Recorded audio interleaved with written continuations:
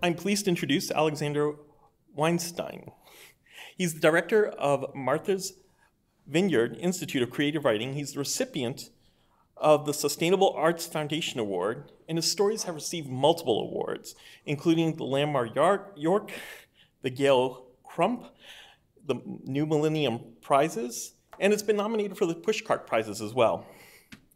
Um, he's an associate professor of creative writing at Sierra, Siena Heights University and leads fiction workshops in the United States and worship, uh, United States and Europe. Um, it was interesting talking to him over lunch and hearing how this has been a dream of his, and so it's really exciting to have him here for his first book, Children of the New World Stories. Please join me in giving him a, a warm welcome.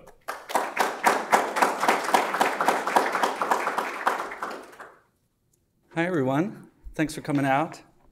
Um, here's the plan. I'm going to read a story and then open up for any questions that you have. Uh, I'm really excited to be reading here at Google because so many of these stories deal with technology and the kind of weird landscapes that technology provides for us. Uh, this story is called Openness. And I think the only thing that I need to say about this before I go in is that there's a kind of psychic technology going on in this story. And so people don't tend to speak anymore in this world. Instead, they communicate this way.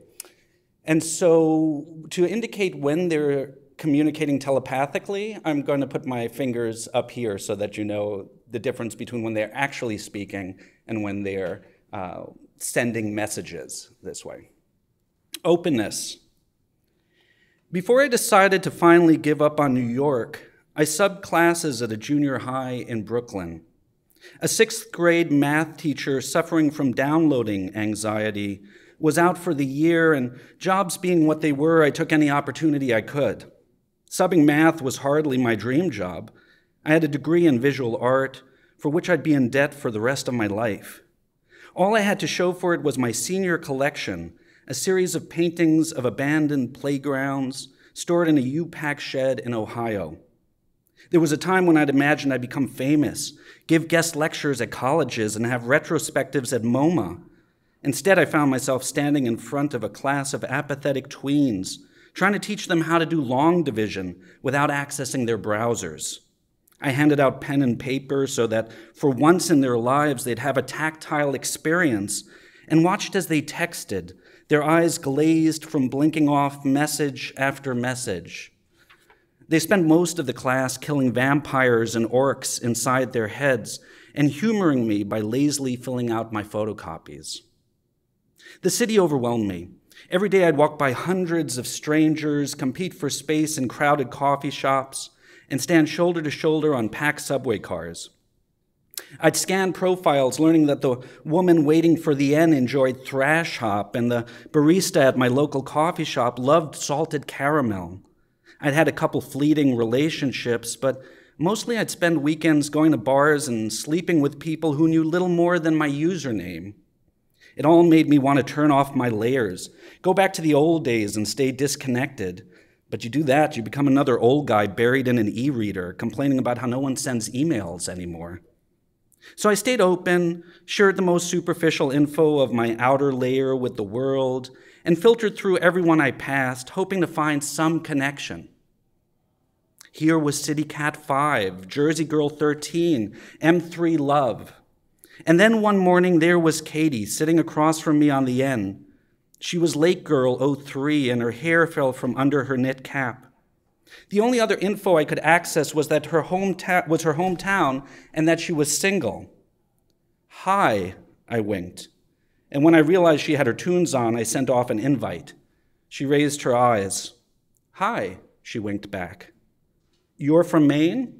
I'm planning a trip there this summer. Any suggestions? She leaned forward, and warmth spread across my chest from being allowed into her second layer. I'm Katie, she winked. You should visit Bar Harbor. I grew up there. She gave me access to an image of a lake house with tall, silvery pines rising high above a shingled roof. Wish I could help you more, but this is my stop. As she stood waiting for the doors to open, I winked a last message Can I invite you for a drink?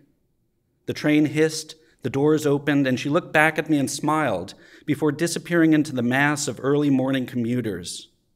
It was as the train sped towards work that her contact info appeared in my mind, along with a photo of her swimming in a lake at dusk. It turned out that Katie had been in the city for a couple years before she'd found a steady job. She taught senior citizens how to successfully navigate their layers.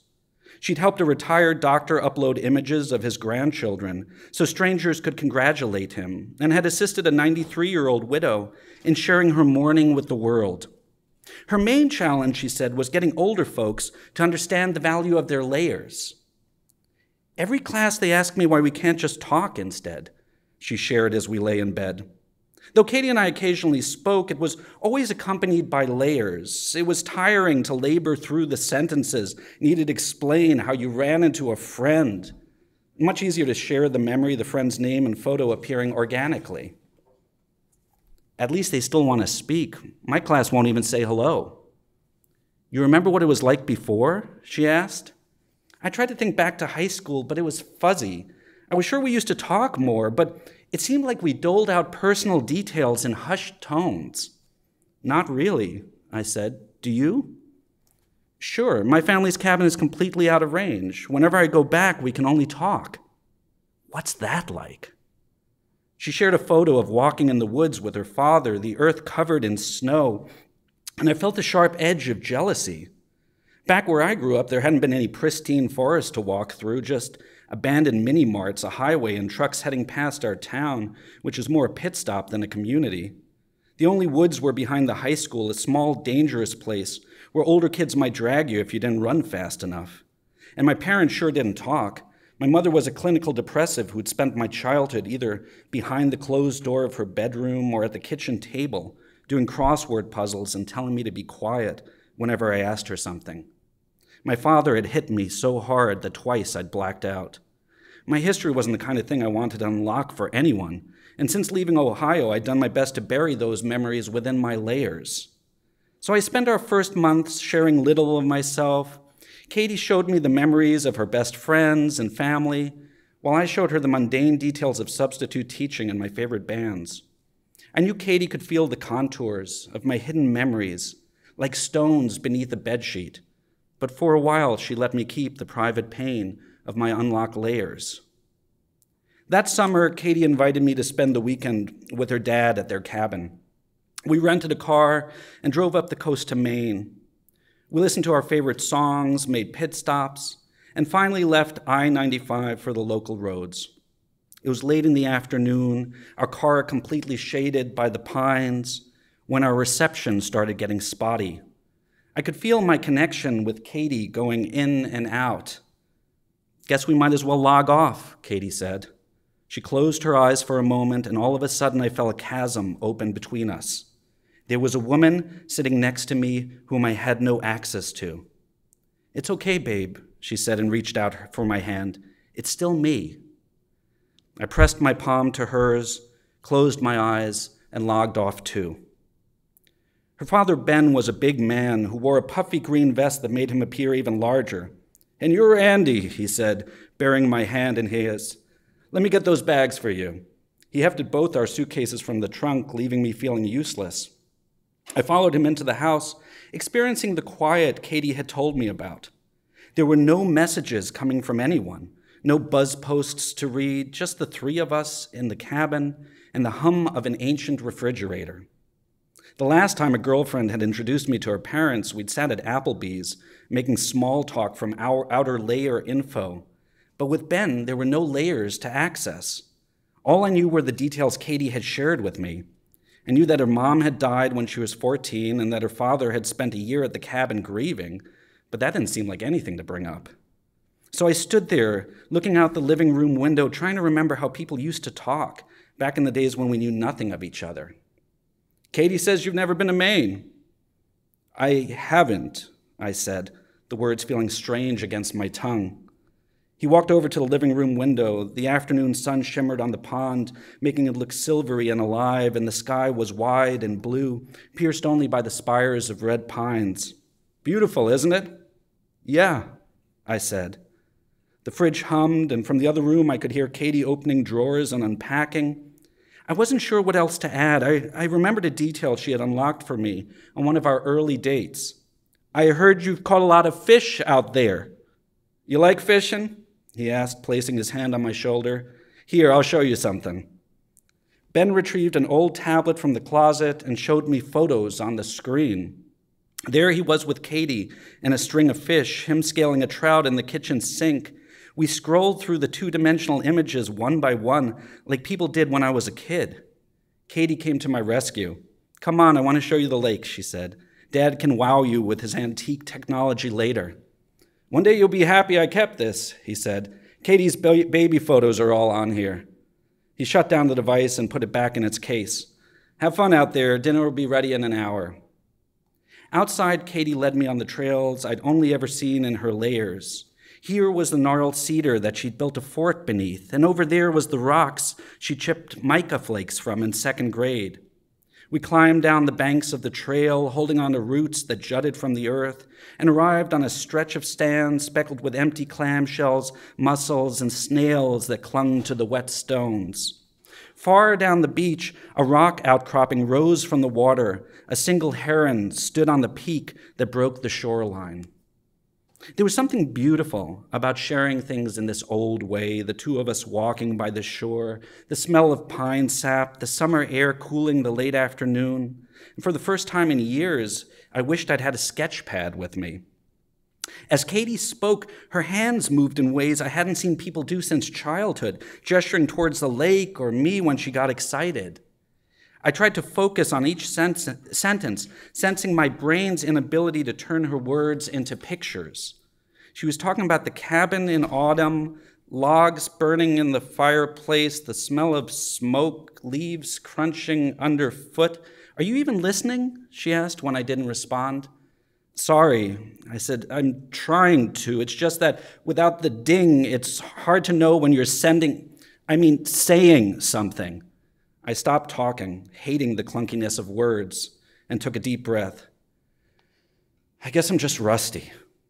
Katie softened. I know. Sometimes when I'm in the city, I can't remember what it looks like up here without accessing my photos. It's kind of messed up, isn't it? Yeah, I agreed. I guess it is. The heron hunched down and then lifted off, its wide wings flapping as it headed across the lake away from us. That night, her father fried up the perch he'd caught earlier that day. The herbs and butter filled the small cabin with their scent, and we drank the wine we'd brought. After dinner, Ben brought out a blue cardboard box, and the three of us sat in the living room and played an actual game. I hadn't seen one in over a decade. You don't know how to play Boggle? Katie asked, surprised. The point, she explained, was to make words from the lettered dice and to write them down with pen and paper without accessing other people's thoughts. I sat there trying to figure out what Katie was feeling as she covered her paper with her hand. What do you think? Katie asked after the first round. It's fun, I admitted. You bet it is, Ben said, and he made the dice rattle again. When Katie and I were in bed, I listened to the crickets outside the screened windows. It had been a long time since I'd heard the drone of them, each one singing within the chorus. So, what do you think of it here? It's beautiful, but I can't imagine growing up without connection. You don't like the feeling? Not really, I said. Being offline reminded me of my life back home before layers existed, when I'd lived with my parents in Ohio, a miserable time that technology had helped to bury. Do you? Totally, I could live like this forever. I looked at her in the dark and tried to scan her eyes, but it was just her looking back at me, familiar yet completely different. What about my dad? I like him, I said. That was only part of the truth. I was really thinking about how different he was from my own father. We never sat and ate dinner together or played board games. I'd heat up frozen pizza and eat in the kitchen while Dad would lie on the couch watching whatever game was on. Eventually, he'd get up, clink the bottles into the bin, and that was the sign to shut off the TV. Thinking about it made me feel like Katie and her father were playing a joke on me. There was no way people actually lived like this without yelling, without fighting. I felt the warmth of Katie's hand against my chest. What's the matter? Nothing. You can tell me, she said. I love you. It was the first time she'd actually said the words. At home, it was just something we knew. We understood it from the moments when we'd stand brushing our teeth together and the feeling would flash through her layers. And sometimes late at night, right before we both fall asleep, we'd reach out and touch each other's hands and feel it. I love you too, I managed to get out, and the weight of the words made something shift inside me. I felt the sentences forming in my head, the words lining up as though waiting to be released. Without my layers, there was nothing to keep them from spilling out. Katie, I said into the darkness, I want to tell you about my family. She put her arms around me. Okay. And there in the cabin, feeling Katie's body against mine, I began to speak. I didn't stop myself, but leaned into my voice and the comfort of hearing my words disappearing into the air with only Katie and the crickets as witnesses. It was that night in the cabin that helped us grow closer. Shortly after we returned, I unlocked more layers for her and showed her the pictures of my father and mother, the few I'd kept. There was my high school graduation, my mother's sunken eyes staring at the camera, my father with his hands in his pockets, and me in between, none of us happy. I showed her the dirty, vinyl sided house and the denuded lawn, blasted by cold winters and the perpetual dripping oil from my father's truck. And she showed me her own hidden layers her mother's funeral in a small church in Maine, her father escaping to the cabin afterwards, learning to cook dinner for herself. Having unlocked the bad memories, I also uncovered the few good ones I'd hidden. A snowy day, my father in a moment of tenderness, pulling me on a sled through town. My mother emerging from her room shortly before she died to give me a hug as I left for school. Feeling the closeness that sharing our layers brought, Katie suggested we give total openness a shot. It meant offering our most painful wounds as a gift to one another, a testament that there was no corner of the soul so ugly as to remain unshared. It had become increasingly common to see the couples in Brooklyn, a simple O tattooed around their fingers, announcing their radical honesty of the relationship to the world. They went to open house parties held in abandoned meatpacking plants where partiers let down all their layers and displayed the infinite gradations of pain and joy to strangers while DJs played break noise directly into their heads. I resented the couples, imagining them to be suburban hipsters who'd grown up with loving parents, regular allowances, and easy histories to share. Total openness seemed premature, I told Katie, not just for us, but for everyone. Our culture was still figuring out the technology. A decade after linking in, I'd find drinking episodes that had migrated to my work layer, or worse yet, porn clips that I had to flush back down into the darkness of my hidden layers. I'm not going to judge you, she promised as, she lay in as we lay in bed. She put her leg over mine. You do realize how hot it'll be to know each other's fantasies, right? There were dozens of buzz posts about it, the benefits of total intimacy, how there was no more fumbling mistakes, no guessing, just a personal database of kinks that could be accessed by your partner. What about the darker layers? We need to uncover those too, Katie said. That's what love is seeing all the horrible stuff and still loving each other. I thought I understood it then. And though my heart was in my throat, my terror so palpable that my body had gone cold, I was willing to believe that total openness wasn't the opposite of safety, but the only true guarantee of finding it. So late that summer evening, Katie and I sat on the bed, gazing into one another's eyes, and we gave each other total access. I've spent a lot of time thinking about what went wrong, whether total openness was to blame or not. Some days I think it was, that there's no way to, no way to share the totality of yourself and still be loved, that secrets are the glue that binds relationships together. Other times, I think Katie and I just weren't meant to be a couple for the long haul. Total openness just helped us find the end more quickly. Maybe it was nothing more than the limits of the software. We were the first generation to grow up with layers, a group of kids who'd produced thousands of tutorials on blocking unwanted users, but not a single one on empathy. There were certainly good things that came from openness, like how after finding my paintings, Katie surprised me with a sketch pad and drawing pencils. Or the nights when I'd come home from a frustrating day of substitute teaching, and she'd have accessed my mood long before I saw her. She'd lay me down on the bed and give me a massage without us even winking one another. But all too often, it was the things we didn't need to share that pierced our love. Sexual histories that left Katie stewing for weeks, fleeting attractions to waiters and waitresses when we go out for dinner, momentary annoyances that would have been best left unshared. Letting someone into every secret gave access to our dark corners, and rather than feeling sympathy for each other's failings, we blamed each other for nearsightedness. And soon layers of resentment were dredged up. There was a night at the bar when I watched Katie struggling to speak loudly enough for the bartender to hear, and I suddenly realized his face resembled the schoolyard bully of her childhood. You have to get over that already, I blinked angrily. Soon after, while watching a film I wasn't enjoying, she tapped into layers I hadn't yet registered. He's just a fictional character, not your father. And then there was the final New Year's Eve party at her friend's place out in Bay Ridge.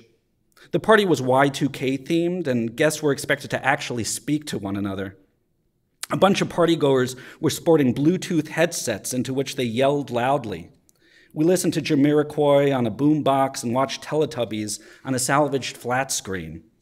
Katie was enjoying herself. She danced to the songs and barely winked anyone, happy to be talking again. I tried to be sociable, but I was shut down, giving access only to my most superficial layers as everyone got drunk and sloppy with theirs. We stood talking to a guy wearing an ironic trucker's cap as he pretended we were in 1999. So you think the computers are going to blow up at midnight? He asked us. Katie laughed. No, I said. Come on, Katie blinked. Loosen up. I'm not into the kitsch, I blinked back. Mostly I'm just excited about faxing things, the guy in the trucker's cap joked, and Katie laughed again. You know faxing was the early 90s, right? I said, and then blinked to Katie. Are you flirting with this guy? All I'm saying is check out this Bluetooth. Can you believe folks wore these? I know, that's crazy, Katie said. No, I'm not flirting. I'm talking. How about you try it for a change? I told you, I don't like talking. Great, so you're never going to want to talk then? Did you guys make any New Year's resolutions? The guy asked us. Yeah, Katie said, looking at me, to talk more. In her annoyance, an image from a deeper layer flashed into clear resolution. It was a glimpse of a future she'd imagined for herself. And I saw us canoeing in Maine, singing songs with our kids.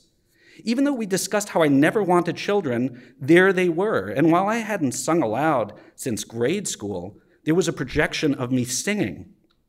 Only then did I see the other incongruities. My eyes were blue, not brown my voice buoyant, my physique way more buff than I ever planned to become. And though I shared similarities with the man in the canoe, as if Katie had tried to fit me into his mold, the differences were clear. There, in the canoe, was the family Katie wanted, and the man with her wasn't me. What the fuck? I said out loud. It's just a question, the guy said. If it's personal, you don't have to share. I'm giving up gluten. Excuse us for a moment, I said, and I blinked for Katie to follow me. We found a quiet spot by the side of a flat screen TV. Who the hell is that in your future? I'm really sorry, she said, looking at me. I do love you. But I'm not the guy you want to spend your life with? Ten, nine, eight, the partiers around us counted as they streamed the feed from Times Square. That's not true, Katie said. You're almost everything I want. There was no conscious choice about what happened next, just an instinctive recoiling of our bodies, the goosebumps rising against my skin as our layers closed to one another. I couldn't access the lake house anymore, or the photos of her father. Her childhood dog was gone, followed by the first boyfriend in her college years, until all that was left were my own private memories, trapped deep within my layers, and the pale tint of her skin in the television's light. We were strangers again, and we stood there looking at each other while all around us the party counted down the last seconds of the old year. I logged off for long periods after we broke up. I gave up on trying to convince my students to have real life experiences. When they complained that reading the I Have a Dream speech was too boring, I let them stream a thrash hop version instead. And I sat looking out the window thinking about Katie. I walked to my station alone every day, and sat on the train with my sketch pad, drawing the details I remembered from our trip to Maine the shoreline with its broken shells and sunlight, the heron before it took flight, Katie's face in the summer darkness. It's the intangible details that I remember the clearest, the ones that there's no way to draw. the taste of perch as we sat around the table, how a cricket had slipped through the screened windows and jumped around our bed that night, how after we'd gotten it out, the coolness of the lake made us draw the blankets up around us, and how Katie, her father, and I had sat together in the warm light of the living room and played a game, the letter dice clattering as her father shook the plastic container. All right, Andy, you ready? He'd asked me, holding his hand over the lid. And I thought I was. Thank you.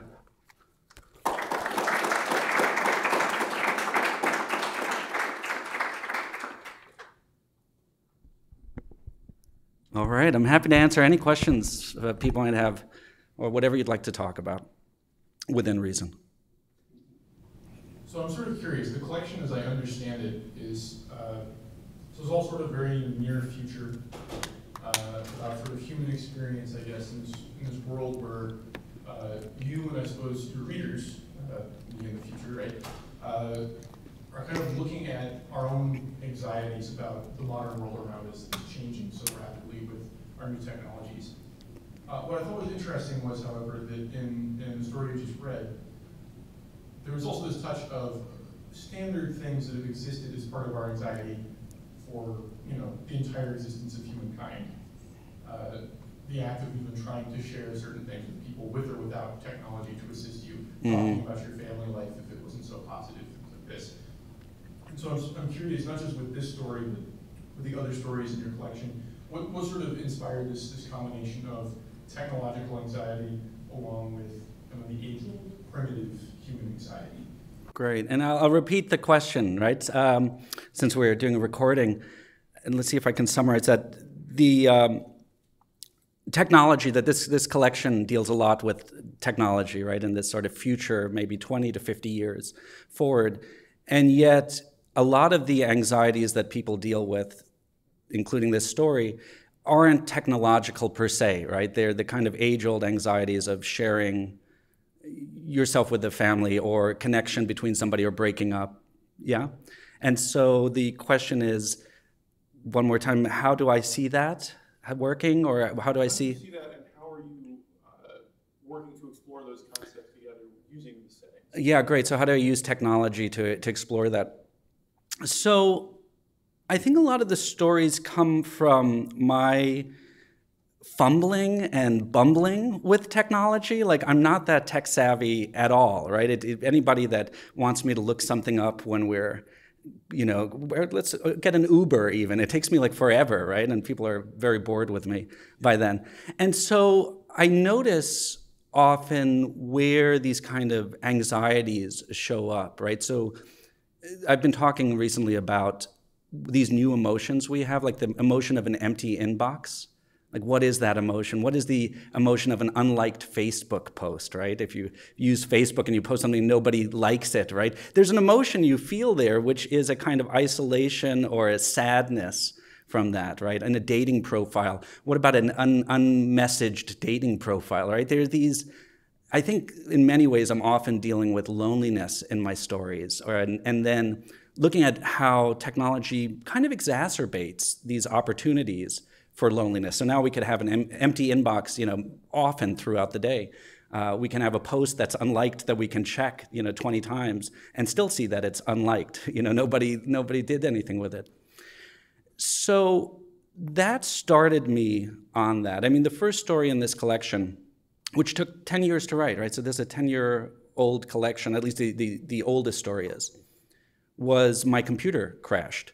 And it took a lot of my creative work with it at that moment and i was deeply distraught i mean i was you know really sad it also was a computer that i'd written a lot of stories on so i had this emotional connection and i realized oh wow we're getting emotionally connected with our technology and right around that time everybody was getting iphones my students and my students would say boy just don't let me lose my iphone i love my iphone if i had to lose anything i think they would sacrifice you know sometimes distant relatives before their their phone and I, I said, wow, this is a really strange phenomenon. We're more and more getting emotionally connected in ways that I don't think we fully understand how they're playing out yet. And they reveal to us deeper anxieties and emotions. And, and with each new uh, progression of technology, I, I, tend to find more anxieties in some ways that, that they produce. As a quick follow up to that, uh, have you read Sherry Turkle's Alone Together? Yeah, the question is Have I read Sherry Turkle's Alone Together? I haven't, and I'm so thrilled though that she's changed her opinion. Uh, because I remember about 10 years ago, she was talking about how the internet is this wonderful place, and it is, but a wonderful place where we're going to connect with other people. And she was just, you know, kind of effusive about it. And now she has done a complete 180, so I, I really want to read it. Have you read it? I have not read it either. I read her uh, first book from the 80s, which was, uh, what was it called? Second Self. Second Self, right. Some of her earlier work. Yeah, I, I'm looking forward to reading and avatars and all that. Yeah, I'm looking forward to reading uh, that book because I think she's a partner in crime right now, so to speak. Yeah.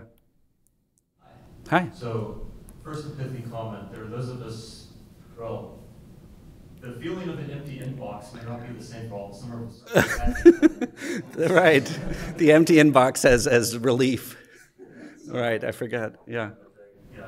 Something I'm very curious to know what your kind of personal thoughts on are. Like, so these, these stories represent an imagining of the future. Yeah. When you imagine the future that you actually want to live in 25 to 50 years from now, what would you imagine? Great. So the question is because these stories envision the future, when I envision my own personal, like if I could create, which I am, right, but this is a dystopian future, is the question right, right. Uh, it's the question. The question is, what kind of future would I like to see, thirty to fifty years? Um, yeah, it's very different from these stories. In many ways, these stories are warnings. I think of please let's not go down this this road. And unfortunately, a lot of reality is catching up to this. So we were talking about Google Glass recently, and and then moving into contact lenses. Now, a lot of research is going into like these eye screens and contact lenses.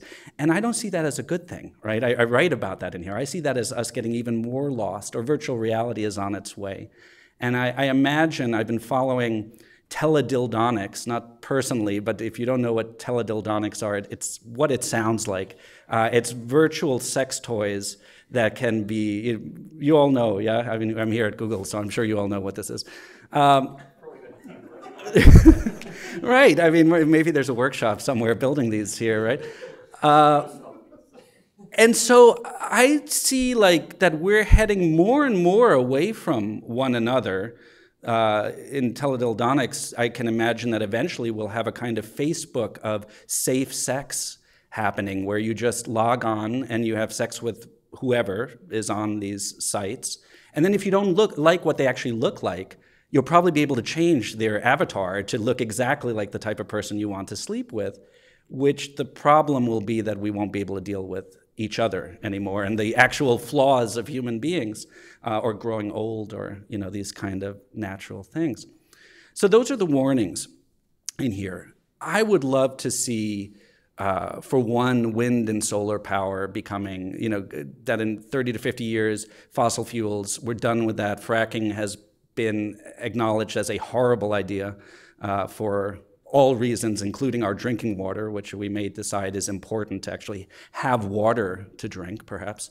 Uh, and so instead, there will be much more clean energy primarily, right? And that, I guess, a kind of locavore movement where uh, we're using a lot more obviously organic farming, local farms, locally sourced. We're seeing that happening. There is that kind of uh, revolution happening. It's very connected also to the internet, right? So you have Etsy and you have these stores where if you're local, you can then use that. Or somebody was telling me about this app where she cans vegetables and people want to learn how to can vegetables. And so you can sign up for this group or this teaching and then show up there.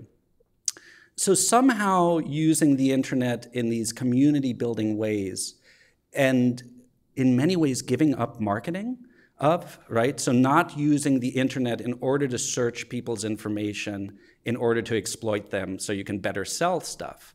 Now I understand that the, the myth around this is that if you can predict people's buying patterns, all the better. We can have all our preferences ready. Like I could walk in the bathroom and in my ears will be my favorite song playing, right? And the world is streamlined to me. And I don't think that's a great idea because I think it's increasing narcissism.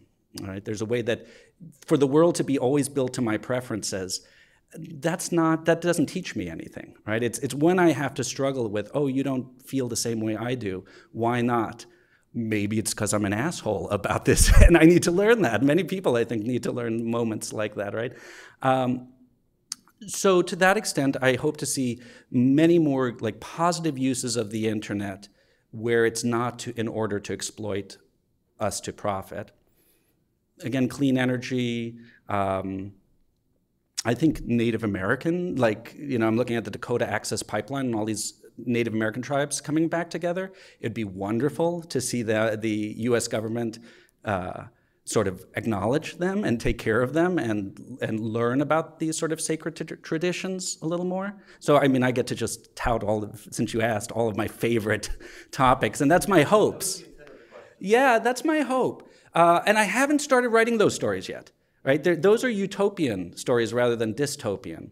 And I've thought a lot about what do those stories look like? You know, that what happens when you try to imagine a better future and I think the, the key on a fiction craft level is what's the conflict then, right? How do you write stories of joy or stories of hope that have hope as their primary thing rather than as conflict? Uh, I haven't figured that out yet. Maybe in a second or third third book. Uh, maybe I'll figure it out in the next couple of years.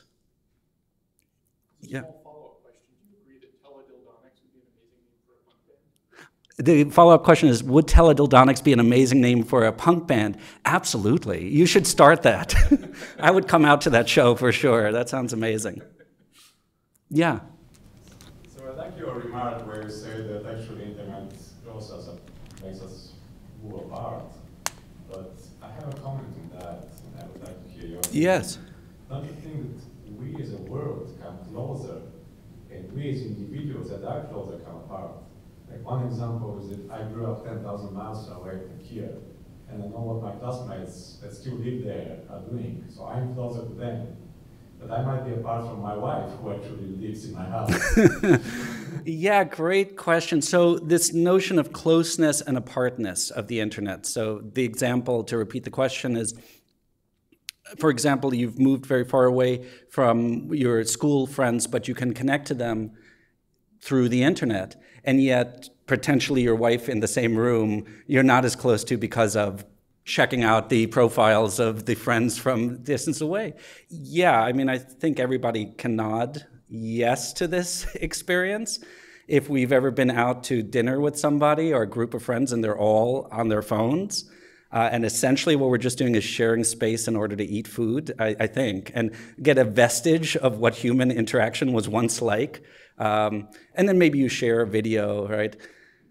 Yeah, I do think that we stay connected. I mean, here's the benefits, right? There's plenty of benefits, of course, to the internet, and that you can re- refine these friends. And then actually, you know, now that I'm on book tour, I get to see old friends that only know that I'm here because of the internet, right?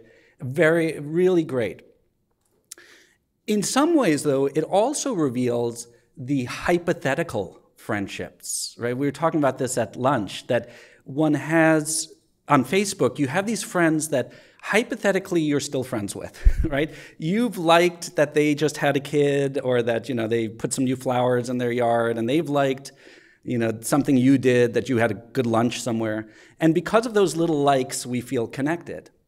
But then actually showing up in their town and like seeing, hey, would you like to get together for a drink is like too much, you know, no, no, no, can't do that. But um, or you don't get a response until you know weeks later and saying, "Oh, sorry, I missed you," right? Or if you have to move, this is always the thing: will the people show up to help you move? I think we are growing more disconnected in that way. Um, video gaming culture, in some ways, is a perfect example where you have people with very strong communities online. They're gaming and they have their friends online, and it's international. And, and this is not to denigrate that, right? That's, that's profound for, for people, and it's a meaningful relationship.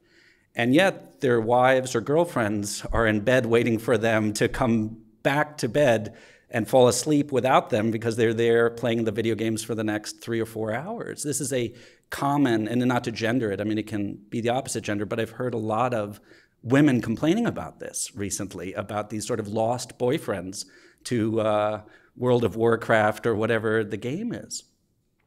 So, yeah, it's a really weird conundrum that we have where I think we're connected with so many more people, but on an intimate level, on a one to one basis, it's getting more fraught. It's up to us, I think, to overcome that and really make those, those moments of contact with one another.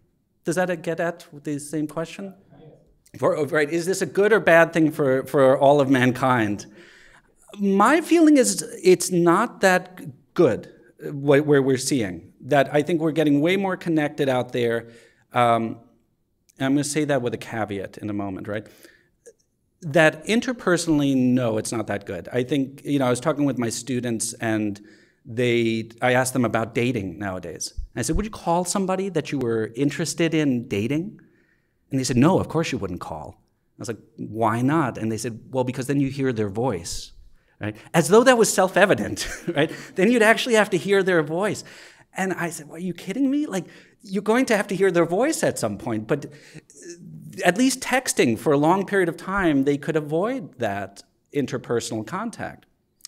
So I do think that it's a bad thing in that we are moving further away from actual communities. And in some ways, evidence of this, I think our physical landscapes in many places are deteriorating.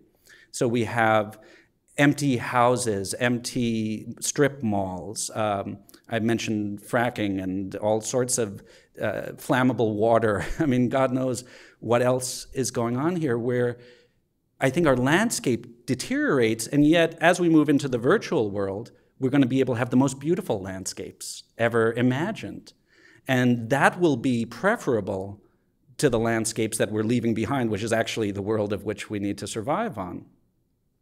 The caveat is, on another way, it makes us way more socially active and progressive and aware.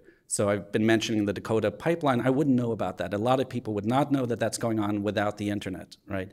Uh, police brutality, uh, sort of social injustice and ways of fighting that. Again, you have to be on the ground to fight it, right? I mean, there's a way that you can just be an activist by clicking, like I support, like, uh, you know. And I don't know that how much that does. I think you do have to be out in the streets, so to speak. But I, I'd say that's a really benefit to the humankind that we know about things that previously were buried. So uh, you obviously just talked a lot about how um, some technologies subtract away from the human social um, uh, infrastructure. Do you see any uh, technologies today or in the future that will be additive to the? Good, good question. Yeah, the question is. So I'm talking about how technologies take away from this human infrastructure, right? This human connection. What technologies can I, can I, again, this is almost like a utopian question, right? Could I invent a technology? or Are there technologies that exist um, that can bring us closer together? And of course, those exist. I mean, this app that I was talking about where people can now, you know, promote what they're doing and teach canning, right, or something like this. And this was an interesting conversation with the person because they said, well, when the people show up, what I realized was everybody was taking notes on their phones while they're trying to learn canning and you know take pictures and then they ended up on their on their uh, email. And so the woman said i have to actually take the phones away during this which is very akin to teaching. What would be some great technologies here? I mean obviously drinking water i, I start thinking immediately of nature right? So drinking water is going to become an issue uh, for us. And so technologies wherein it helps us to purify drinking water and uh, that kind of technology, unlimited energy power, you know, uh, clean energies and technologies for that, ways of connecting to people in the community to help build more local social and uh, sort of those kind of technologies.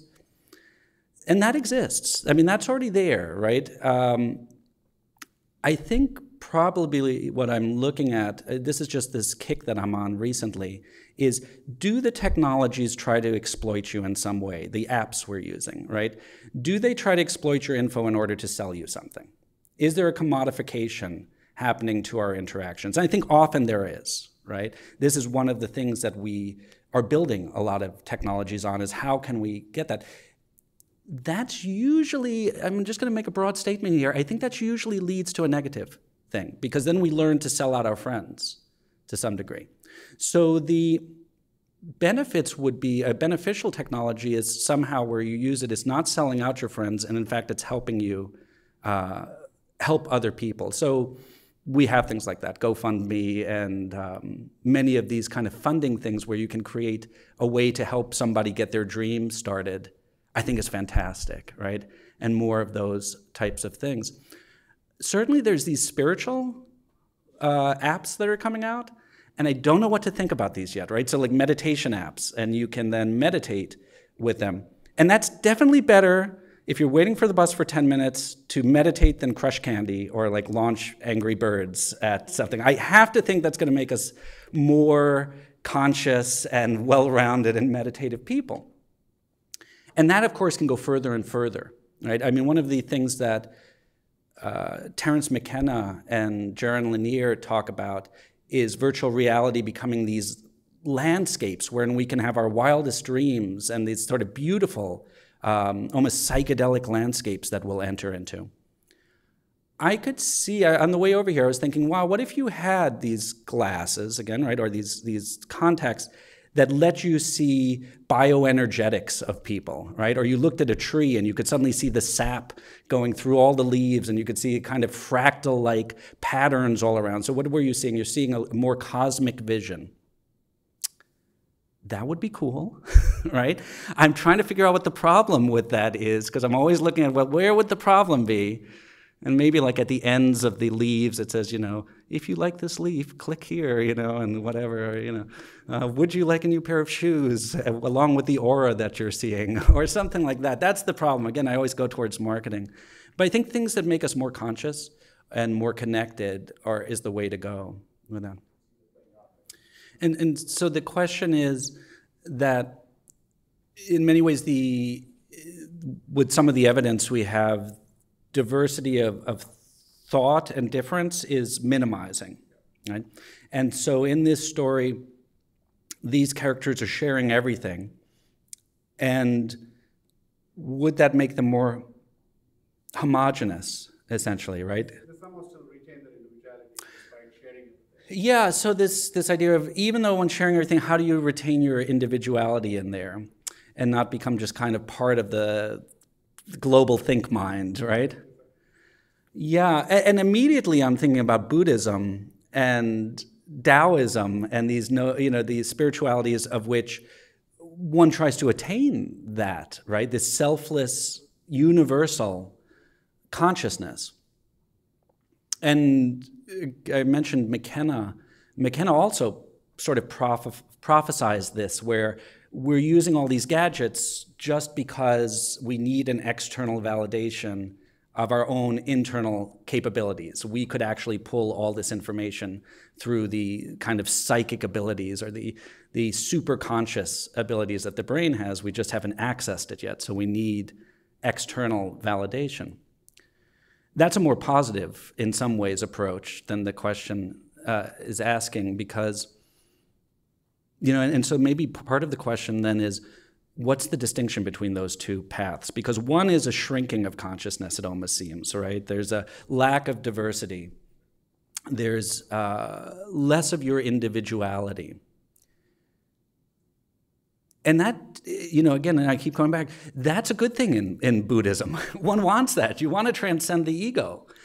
Uh, and here we go back to like good technologies. Like, sure, what if we had technologies that helped us transcend our egos? My God, if we could ship one to Donald Trump, we would maybe, you know, see a whole different story here. All the, all the, we'll give it to all the candidates out there and see what happens uh, as an experiment.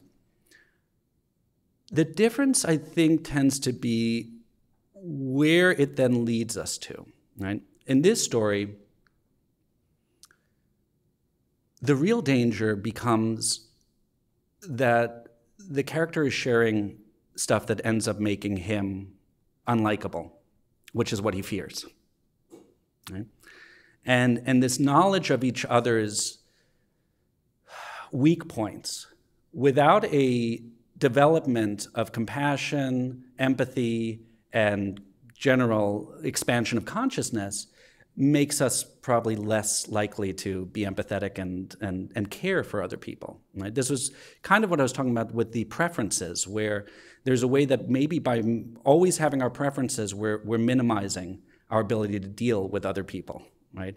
Certainly, we could see this in beauty standards where the airbrushing and the photoshopping make real people not as attractive, quote, big quotes around attractive. And so this kind of blurring of those boundaries leads us into a predefined, homogenous place that's being defined again by outside forces, which isn't, isn't really the problem here, except they're living in a society where that probably is exerting this pressure. Now that I'm thinking about this, this part of it, like, why wouldn't sharing everything with your partner be a great thing? Well, because you, if you've tried it, it's not always a great thing, right? Uh, there are things that sometimes are too, too problematic. Um, and that's that was what I was making fun of in this story. But I think this kind of overcoming our own egos and overcoming, and, and also having compassion for one another, we're not developing that as quickly as we're developing our technology. And so the two things are being outpaced. Uh, our own our own psychic and moral development isn't keeping pace with the technological stuff, and that's where the problems come in. Otherwise, I think we might find a greater diversity of who we really are, right? Um, but it's a fantastic question. I'm, I'm, interested in thinking about that even even more and seeing where is that difference lie between what you're showing, uh, seeing with the statistics of limited diversity, but not in a good way, not like we're all one, right? Yeah, thank you. Thank you very much for coming to visit and talk about your books. Yeah, thanks so much.